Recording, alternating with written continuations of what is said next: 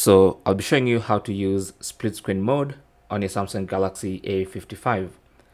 Now to use split screen, just make sure one of the apps you want to use in split screen is running in the background. So let's say for instance you want to use Chrome in split screen mode.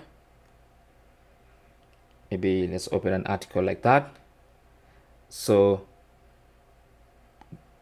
with that app open, just tap on the home button to go home. That means the app is running in the background. So now you want to go into multitasking mode and you can see all the apps running in the background. So tap on the app you want to use in split screen. Just tap the app icon at the top here and from the menu select open in split screen view.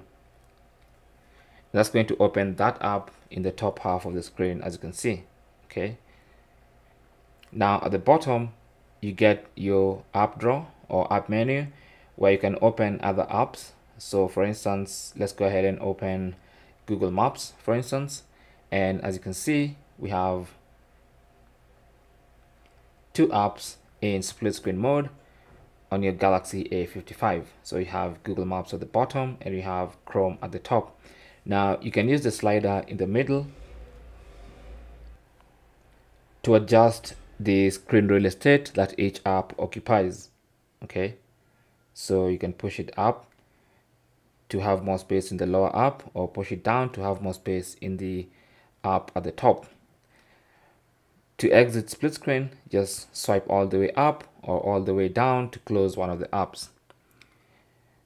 Thanks for watching. Comments and questions down below and good luck